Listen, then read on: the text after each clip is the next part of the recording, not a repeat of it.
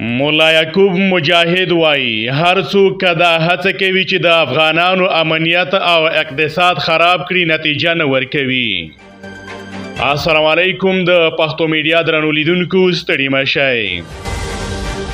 د افغانستان د اسلامي امارت د دفاع وزیر مولا یعقوب مجاهد په کابل کې د اسلامي نظام او ملي یوالي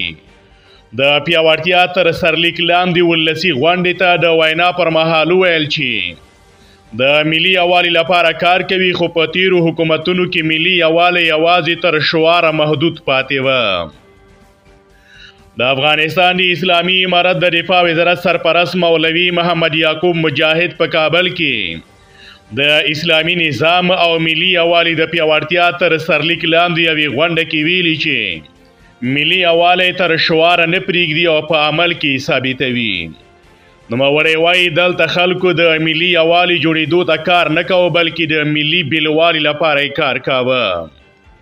نوموړي د خپلو خبرو پر مهال وویل هر هغه څوک او ډله چې فتنې او د قومونو ترمنځ بیلوالي ته لمن وهي په وړاندې په کلکه درېږي که څه هم مولا یعقوب مجاهد په مستقیم ډول د کوم سیاسي ګوند یا ډلې نوم وانه خېسته خو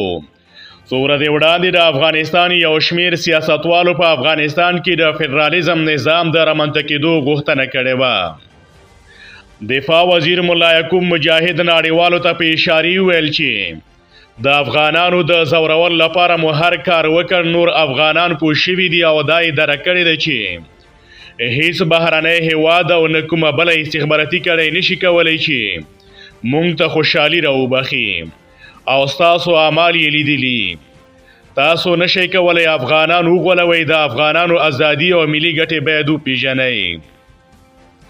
نوموړي خبرداري ورکوي او وايي هر څوک دا هڅه کوي د افغانستان خلکو امنیت او اقتصاد خراب کړي او یا هم په سیاسي لحاظ پر هغوی فشارونه راوړي نتیجه نه ورکوي مولوي یعقوب مجاهد وایي د نړیوالو له لوري د بندیزونو او محدودیتونو په لګولو سره افغانان نور هم سره نږدې او یو موټی کیږي